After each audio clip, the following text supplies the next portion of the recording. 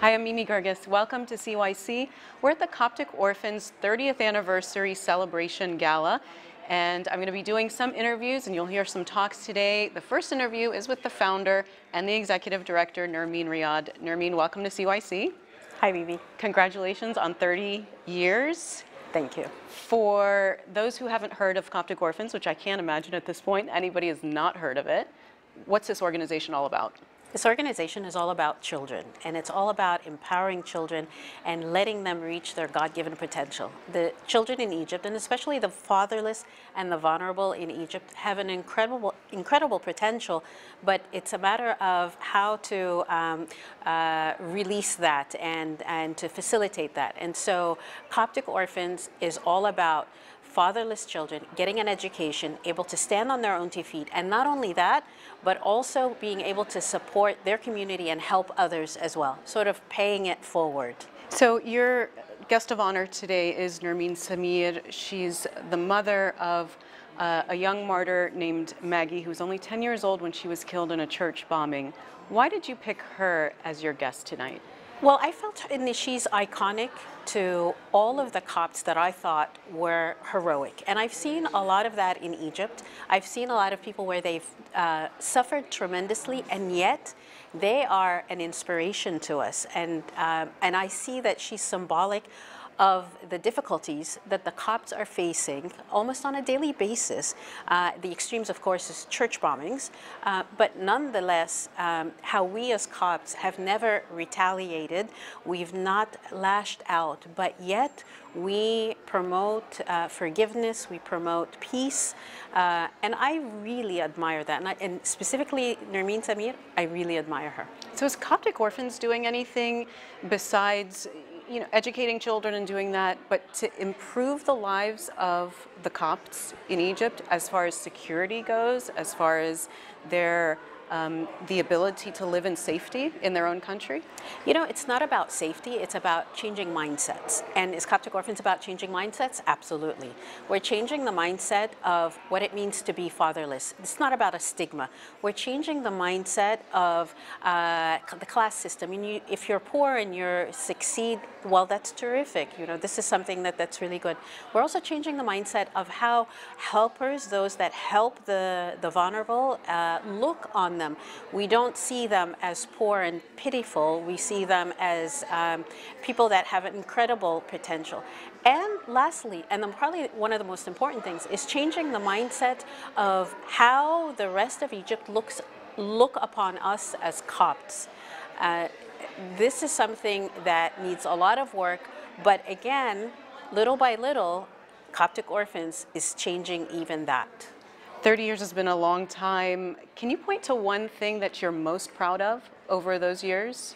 I think I'm most proud of when the kids who didn't know how to read uh, uh, end up uh, staying in school by the help of the volunteer reps that we have, and not only doing that, but also being able to do so well that they receive a scholarship and uh, that they actually enter into universities such as the British University and the American University. And yes, we have children who now um, not only finished the British University with top honors, they were hired by the British University to also teach as well.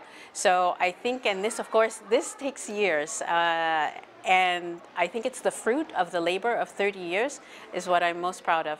And maybe one other thing, I'm most proud um, that God is using us, that God is using us as a tool uh, to do his work. So you really can't ask for anything more. What's your hope for Egypt? My hope for Egypt is a safe, prosperous, uh, uh, peaceful Egypt uh, that honors its people, honors it, the Copts, the Christians of Egypt, um, and celebrates um, that we, we don't have to be, all be the same. That's my hope. Thank you so much for the interview and congratulations on 30 years and well your 100th uh, anniversary. if I lived long enough. Thank you so much, Mimi. It's a pleasure being here. We are going to take a really quick break. Don't go anywhere. We're going to be right back.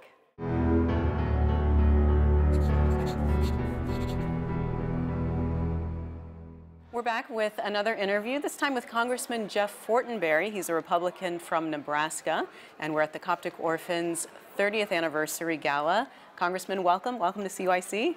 Pleasure to see you. Thanks for interviewing me. So I'm going to go out on a limb here and say that there aren't a whole lot of Coptic Christians living in Nebraska in your district. That's a fairly safe assumption. Why are you interested in this subject?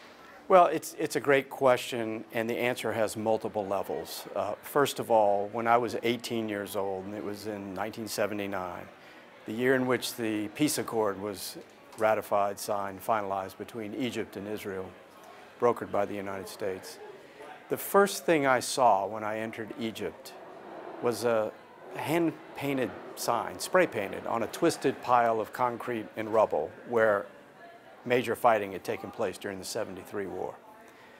And the sign was both in Arabic and English, and it said, Here was the war, here is the peace.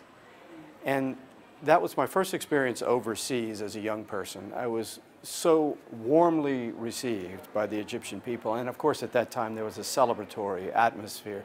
People would stop me on the streets, kiss me on both cheeks. As an American, you'd adjust. But I think that early formative experience, experiences wedded me to something very profound. And, and, let me capture it for you like this. When I was with a family, a Muslim family in Fayoum, west of Cairo, uh, he was a farmer and there was no English there, but he was very eager, very excited, almost anxious to take me to meet his neighbor.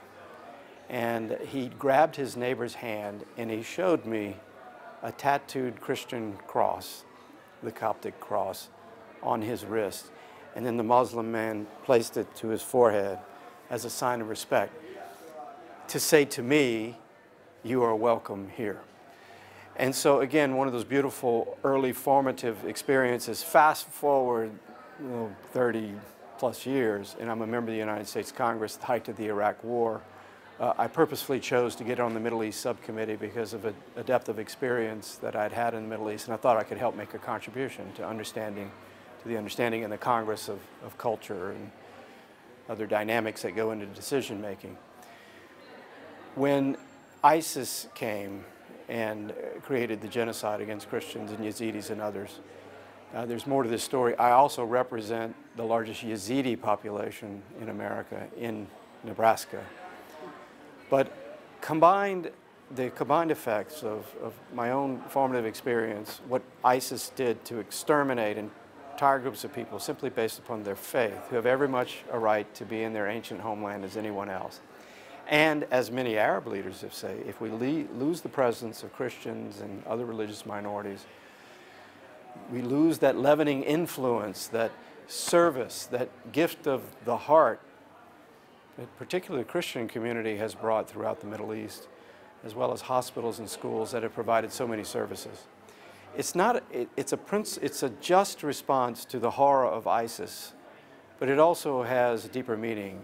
What's at stake here is the principles of civilization itself, this idea of human dignity that must be protected by just governance structures so that the, the conscience of the human person can flourish as it manifests itself in religious freedom. Well, Congressman, so I mean, you've been a, a long time supporter, as you've just said, and, and so eloquently explained why. Is the Trump administration doing enough to help the persecuted Christian minorities in the Middle East? I recently came back from Iraq, and I went to northern Iraq in the Nineveh Plain. Where, which has been the traditional homeland for Christians and Yazidis. I went at the behest of the vice president, working with the budget director, Mick Mulvaney, a former member of Congress, very close friend of mine, who has a very deep sensitivity to this issue of the persecution of religious minorities in the Middle East. Um, working together, there's been a shift of funds to help rebuild those communities in the wake of ISIS. Uh, we are working on a new security resolution targeted toward northern Iraq. But I think the larger, deeper issue, particularly for the Copts, is this principle of civilization itself, of just governance how is the contribution of the, the Copts, which means Egypt, going to be recognized in the future in a new architecture for the 21st century, which is centered on human dignity? This is a question not just facing the Copts, but it's facing all of humanity. This idea of human dignity as it leads to the right type of market, economic systems, that provide well-being for everyone, and the right type of governance space that recognizes this sacred space of conscience and religious freedom. So we've aggressively tried to elevate these concerns. Money is targeted again to rebuilding the Christian communities, but this is a much deeper architectural kind of conversation that needs to happen throughout the United States government, but also in multilateral bodies everywhere. Can you point to any progress or any actual, you know, accomplishment that has been made by this administration? Well, there, I mean, there's direct funding that's given for the organization Coptic Orphans uh, through the United, the charity of the United States taxpayer. Uh, we are in very strong relationship with the Egyptian government. This is the USAID Correct. funds? Okay. Um, again, we've had a, a shift of from of funds to the rebuilding of the religious minority communities in northern Iraq, and we're trying to pursue again a new security approach that would really empower people to return home. Of course, other countries like Lebanon are hosting huge numbers of people who had to flee, as is Jordan. Right. Huge And- percentages of their population. Large, I think that 20% of the population of Jordan is refugee status, if I recall correctly, and Lebanon about the same as, as I recall. So this puts tremendous stress on those two countries, which are very important and strong friends. I don't say allies, I say friends of the United States. So we supply large amounts of money there, but your question prompts actually the necessity of the ongoing conversation, not just by America, but the entire international community of the protection of this right of conscience, this sacred space of the human person, human dignity, and threaded through just governance structures. Last question, because I know you got to go, but how are we using the relationship of the United States with the Egyptian government to better the situation of the Christian minority in Egypt? Two years ago, I had a personal meeting with uh, President Sisi. It was two hours long. Now, for a sitting member of the United States Congress to have almost a one, there were four of us, his foreign minister, our ambassador, me, and President Sisi, to give me two hours. He knew my background. He knew that I had lived in Egypt for a time. He knew of my work in Congress uh, on a whole host of things, particularly the bilateral relationship regarding Egypt and America, but also the work on protection of religious minorities. It says a lot to me that a president of the country the size of Egypt, Egypt and again, a long friend and critical, critically important to the stability, future stability of the Middle East. By the way, I kept challenging, even went on Egyptian television to challenge this notion that Egypt has to stop having an entitlement mindset and actually work toward regaining its rightful place as a leader in the Middle East. That's what I want to see. It's absolutely important. The mother of the Arab world, cradle of civilization, leader of, of culture, it's time to reassert that dignified position for Egypt as a key leader in the Middle East. And that's what I would welcome. Congressman Fortenberry, thank you so much for the interview. Thanks for being here. I'm sure Coptic Orphans is thrilled to have you here at their celebration. Pleasure. Thank you. We are going to take a really quick break. Don't go anywhere. We're going to be right back.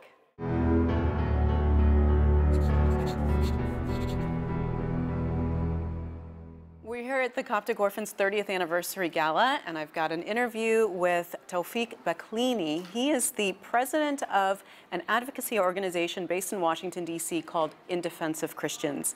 Mr. Baaklini, thank you for being here and Thank welcome you. to CYC. Thank you. There's a lot of sad news about Christians in the Middle East. Can you say, can you give us some good news that will give us some hope about the situation there? Not a lot. I mean, there's not much good news other than uh, getting direct aid to the Christians uh, of the Middle East.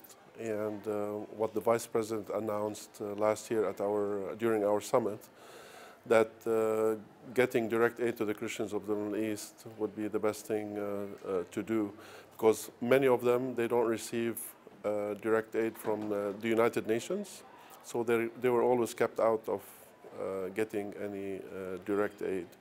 So that was a big um, policy change. Uh, the president and um, the vice president agreed to to go with that policy and start helping Christians directly without. Have you actually seen that happen on the ground, or is that yes, just talk? Yes, no. Uh, it it started. It was slow, as everything else that goes uh, through the government. So we were, able to work with um, the government to cut all the red tape and um, be able to help communities that are in need. And have you seen those communities that have been completely devastated by ISIS start to rebuild? Are Christians coming back into the, those areas that they fled from? Uh, yes, I mean, this is what we advocated for four years ago until now. We don't want the Christians to leave uh, the region, we want them to stay. This is where Christianity started. And um, no matter what, we're going to help them uh, rebuild. And uh, a lot of them are returning in Iraq. We need help to rebuild their uh, churches, their communities, their, um, their schools.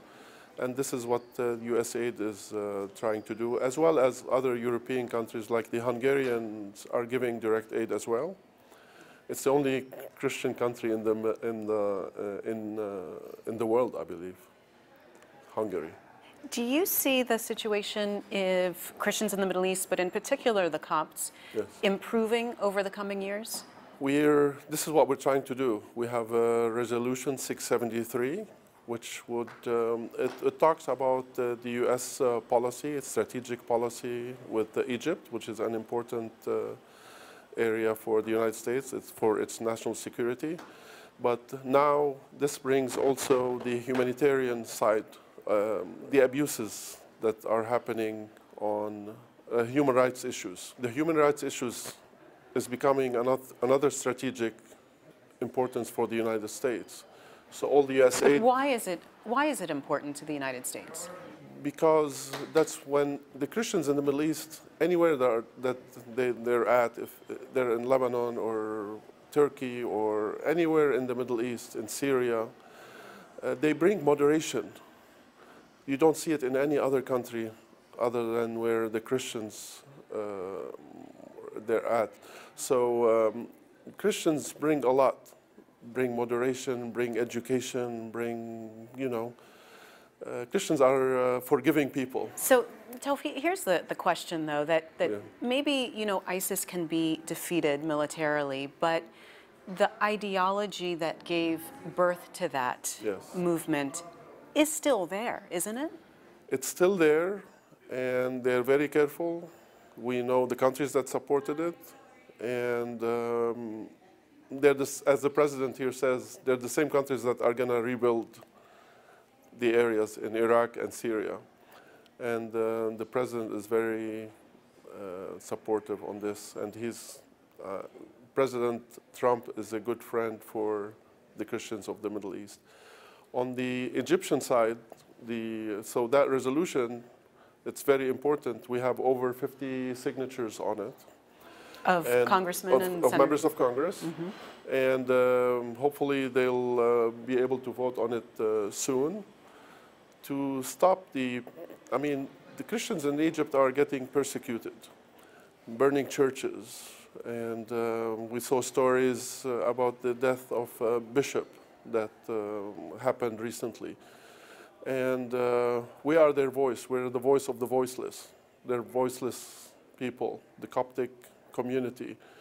It's about, I think, 15 million people that have no say in, ev- in anything. Tell me a little bit more about IDC Sure. and how you operate and what you have been doing these last few years.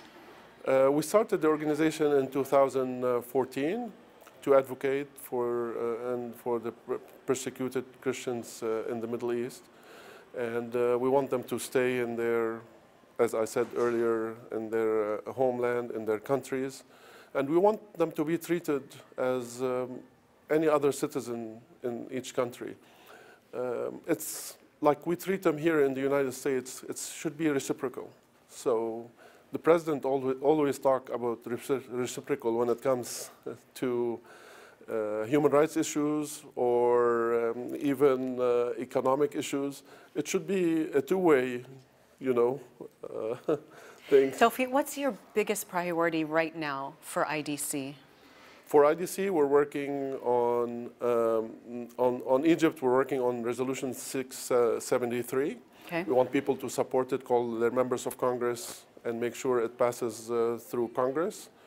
And that would be very helpful for the uh, minorities in the Middle East, the Coptics in uh, Egypt. They, we want them to have equal rights. So this is one of our big issues on this. Uh, otherwise, we're working on um, helping to support uh, legislation that uh, Congressman Fortenberry is also uh, working on. It's to have a secure Nineveh Plain area to where Christians will be able to rebuild and be safe. How will it be secured, though? It will be secured through um, the, the minorities uh, in, uh, in that region. They'll be armed? Yes, yes. They will be under the Iraqi government, and it will be secured uh, through the people that live in the area, if it was Yazidis or Christians or otherwise, any uh, the minority groups. We don't uh, need anyone to, I mean, to be. We don't want them to be protected by anyone. They can protect themselves. And God willing, they will be able to protect themselves and all the Christians in the Middle East. Thank you so much for being uh, with us today, and uh, thank you for being at this event. Thank you very much. We are going to take a really quick break. Don't go anywhere. We're going to be right back.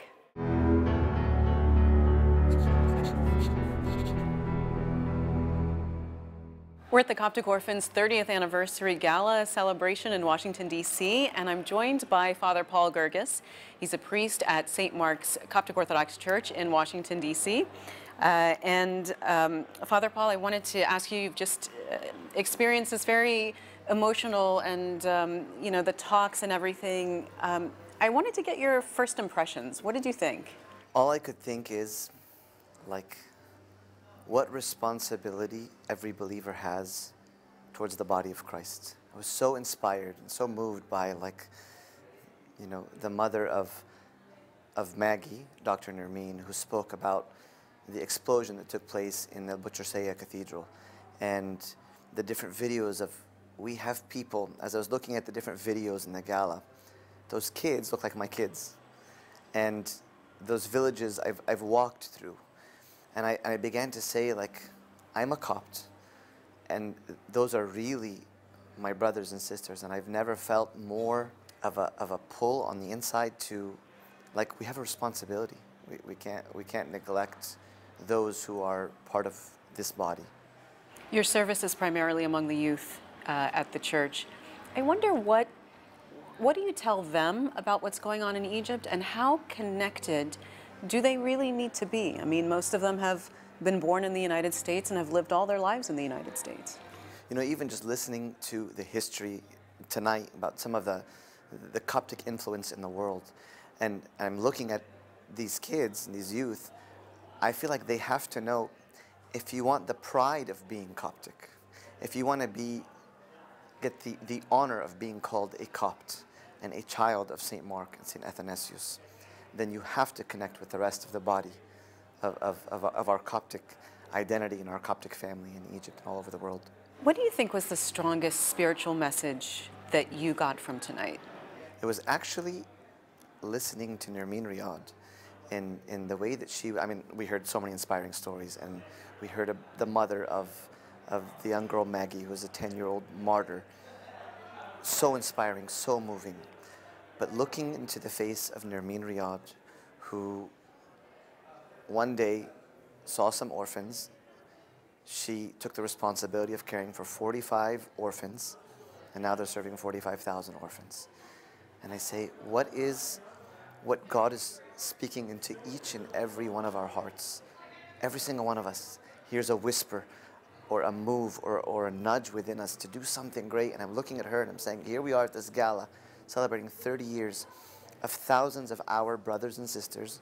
I felt that, that pull and that identity more tonight of, of just a woman who, who, who really just felt so inspired to, to care. No titles at the time, no big organization, no galas, just somebody who just cared about the Coptic identity. And that, that, that was what was most moving to me tonight. You know, you're a priest at, at St. Mark's, which is in the nation's capital. What do you see as St. Mark's mission, and what's your mission and dream for the church? I believe here at, St. Mark's uh, in DC, we have three core values. Um, one of them is worship, the second one is discipleship, and the third one is mission. I believe every church has to have a life of worship, you know, corporate and private, as well as we need to be making disciples of Christ. I'm not talking about students of, of, of just to, learn knowledge, to know the stories, to know the history. But I really mean that I believe that we have a responsibility to make true disciples of Christ, which ultimately leads to being the light of the world. And I believe part of our, our, our vision for mission isn't just taking trips. But this night I, I, I felt very moved to feel like we need to take ownership of, of a hurting party, a hurting part of the body of Christ somewhere in the world. Um, we have a responsibility towards Egypt. Even when you see in the book of Acts when they were making collections for the saints of Judea, you know, as they were preaching throughout the whole world, they said, we can't forget the, the, the Jews that are back home being persecuted. And, and, and now the saints of Judea are our Coptic brethren in Egypt. And so I believe that our, the first responsibility we have is towards Egypt um, in the diaspora. As Copts in the diaspora, we, we have to remember the Judean saints. And then at the same time, we have a responsibility um, internationally to, to anywhere where there's crisis in the world. I feel like, you know, we've taken trips to not just Africa, but we went and served with the refugee crisis, you know, in Greece with the, the Syrian refugees. And I just feel like we have, we have to take responsibility of anywhere where there is a cry in the world because God responds to the cries of his people.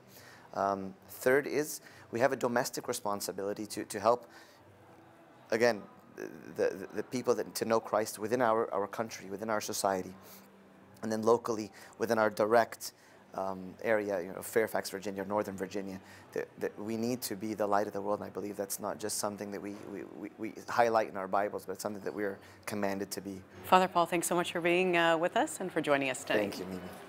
We are going to take a really quick break. Don't go anywhere. We're going to be right back.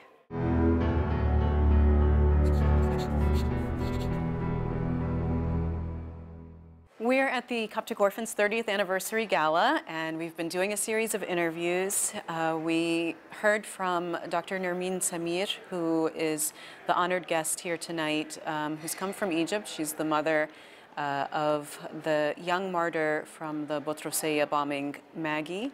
And um, she's here to talk with us. And uh, Dr. Nermeen, welcome to CYC. Thank you. Thank you so much for being with us. And um, welcome to America. We're so happy to have you. Thank you. I'm happy to. Nermeen, I don't want you to repeat, you know, the what happened that awful day, but afterwards, your daughter was in the hospital and she was clinging to life. I know that those were very, very difficult days for you Ten and your days. husband. What were you praying about? What did you ask God for? I think for the first three days, I, um, I was asking about healing Maggie. Uh, I just want her to be perfect uh, in front of me. Um, her injury was in her head. So um, I think we were expecting that there will be imperfection in her movement, in her um, um, anything. So we were praying that she will be, um, she will be all right without any imperfection, without any paralysis, without any anything. I prayed for God to, to be, uh, that she will come out of, the, of her bed and stand in front of me all right, speaking, seeing, um, all, all her functions. Um, after the three days, um, and her condition were, uh, was deteriorating, so um, we started arguing with God.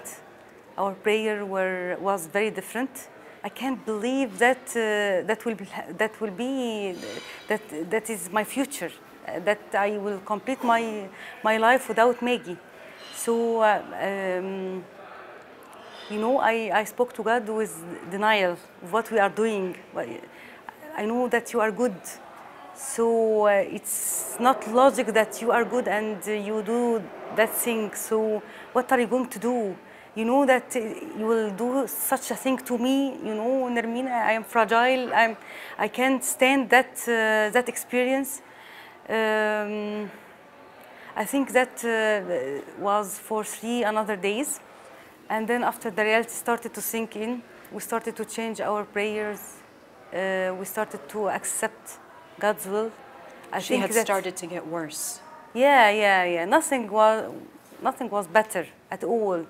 Her kidney stopped. Her, uh, her uh, heart stopped and need medication twice. Um, she was on a respirator. Um, her liver was not uh, perfect. Uh, she was unconscious all the 10 days. Um, there was edema all over her body. So nothing was um was changing. Even yeah, nothing to the to, to nothing was better. All was deteriorating. After arguing with God, I think one day I felt that I'm comfortable. I felt that it's okay. Don't bother. She will go to heaven. She will be in in the best place ever. Um, I started thinking that I want her to be with me. I want her to to grow up in front of my eyes. I want her. I want. I want. All is I want. What does she want? She surely was, will want to to be with God in heaven. So. um, what am I doing? All my thinking changed. I really started to be comfortable. Um, peace comes in my heart, as if a fire end was uh, turned off. Do you feel that God was giving that feeling to you? Surely. Or did you feel maybe you just gave up hope? No, surely. I think as if my prayers was in front of God all the time. And when he he noticed or he sees that, that I'm I'm now uh, um, ready to accept his relief, to accept his peace, I think he instantly sent his relief and peace into my heart. Um, so uh, I think after uh, eight days or nine days, we started to, to pray to God. Uh, please, we want your will to be to be uh, fastened. We want, uh, if you want to take your valuable gift, please take it. We we were very tired of um, of waiting, of seeing her in that condition every day. And when we prayed this prayer, after a few hours, she passed away, as if God was waiting for us to, uh, to let Him have her. Um, he's very kind. How did you feel at that moment when you heard the news? I felt on the floor as if I, uh, I, I was waiting her to be good or to be all right. I, th- I think that um, uh, there was a hope till the last moment. And when we were preparing for the funeral, it was very hard time. And when she was, uh, they were putting her uh, in the grave, she was very, very hard time. Um, I thought that uh, leave me with her in that tomb. I don't want to to uh, leave her and or, or to go back home and leave her in that. Uh, you know, graves is. I think we will never accept graves as a normal place, really. I know. I know. But when, when we went to the church, the night we uh, accept uh, the condolences of the people, um, I was very, very comfort. I was, uh, I have great peace in, inside my heart. How though? I, I don't know. I really don't know. I, when I saw myself, I felt strange that, that what am I doing? What uh, uh, I just uh, lost my daughter, but um, I don't know what was happening really. But um, when we took the condolences uh, at that night, I think all people was astonished. I You myself. I was gonna say, you were astonished. I astonished. myself was You said in your remarks earlier that it was miraculous what God did for you. really. And I think that it's more miraculous than healing Maggie. He can heal Maggie with, with his little finger, really. He can do anything. But to take Maggie and, um, and know how to heal my soul and to deal with me like that, I think it's, it's more miraculous than healing Maggie. How has your life changed since that awful time? For myself, after the comfort, after the peace I took from God, um, I decided to talk about God whenever I can. Uh, I will send the message that God is good whenever I can. Um, um, you know, everything in the life seemed smaller than it was before. I learned how to not to love anything very much and not to hate anything very much. But I want to ask you about hate because I want to know what your feelings are towards the people that did this Yeah. to you and the people that took your daughter away. I feel pity for them. Really. Not No. hatred, not anger. even for once. No, just pity. You know, uh, I know that Maggie, uh, uh, when she was among us, she was happy and she lived a very happy life. And I know now that she's uh, in the best place ever. So, uh, you know, that uh, she, uh, she earned her life on the earth and she earned her eternal life. But for the man who did that, he was in misery in the in on earth and so she, he, he killed himself and now in the eternal life he is in misery too so it's incomparable. So i can't um, uh, i can't feel anything just pity You're, uh, you're a pharmacist, you're a lecturer, you have a lot to do professionally, but I wonder what you see as your mission now as the mother of a martyr. you know i think my mission did not change before and after maggie. Uh, before maggie when when um, when I took my PhD and become a lecturer in the university, I said to myself that God sent me as a lecturer to to be an example, to be a light, to be a salt. So behave like this all your day and all your days. So I started to communicate with um, with my students. I started to make you know, um, when you try to make uh, a role model, when try to make, uh, I hope that uh, I make it, but um, I'm working on myself in that point. After Maggie, uh, I think this mission is, is completing, is still with me.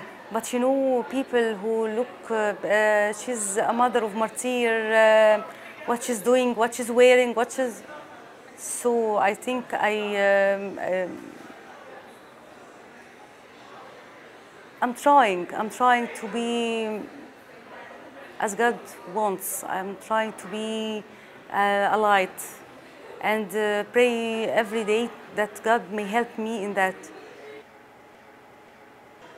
I think the mission that is related to Maggie, that every mother that loses a child and needs a comfort, needs uh, to have uh, a relationship with God, and she she uh, does not think in in that. I go to her and start speaking about God and about that whatever the experience, whatever the trouble, whatever whatever we go through, God is there. So um, we should we should hold Him tightly. Should uh, be with Him all, all always, because comfort is in Him only. Safety and security is in Him only. Nowhere is safe. Uh, no. um, uh, you know whatever whatever we do and and feel uh, uh, I am secure here. I am uh, if I um, if I am in this job I will be okay. Nothing is guaranteed. So we should we should know that security is in Him only. So just be in His uh, just be with Him all the time, and we will be secure. What do you want the Coptic people living in the West to know? And, and what do you want them to know about Egypt and, and the situation in Egypt? Egypt is blessed. That's um, a fact we should, we should agree with.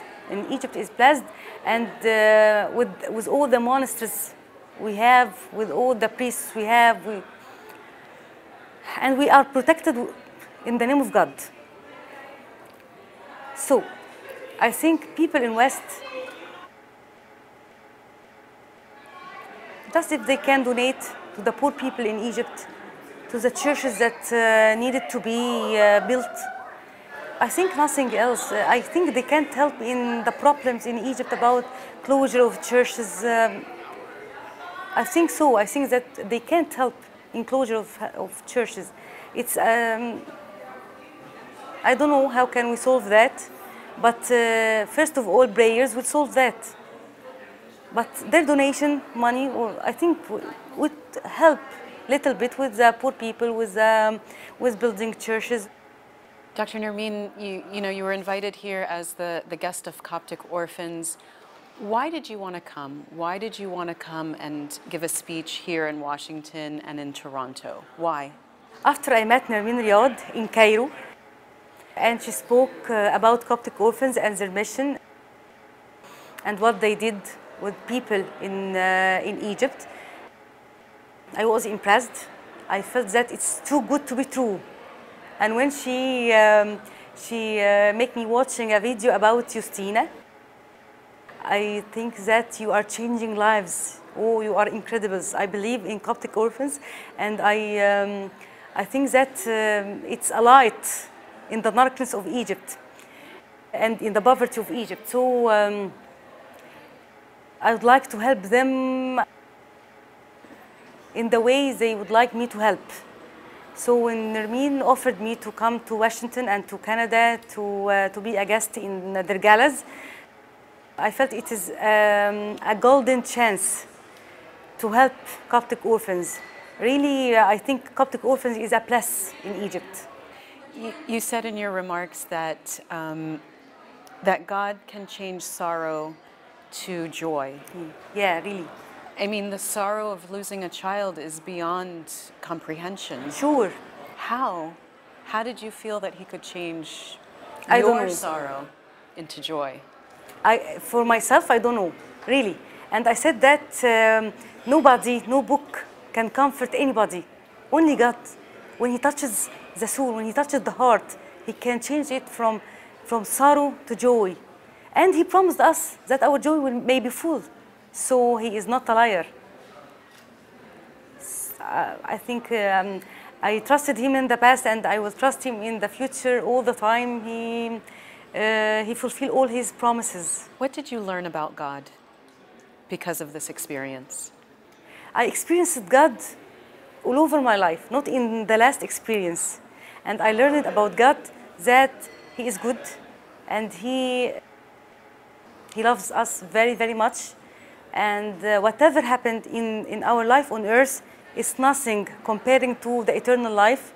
So whatever happened, happened in, on the earth, I think uh, I'm waiting for my eternal life even my life uh, will be 90 years or uh, 100 years, it will end at last as this is the only, is the only truth we know. So I think um, I, I'm waiting for my eternal life to begin. Dr. Nermeen, thank you so much for joining us and for your, your wonderful words to us. Thank you. Thank you. That's our program. I hope you enjoyed it and thanks for joining us. If you have any comments or questions, be sure to get in touch with us. Uh, we'd love to hear from you.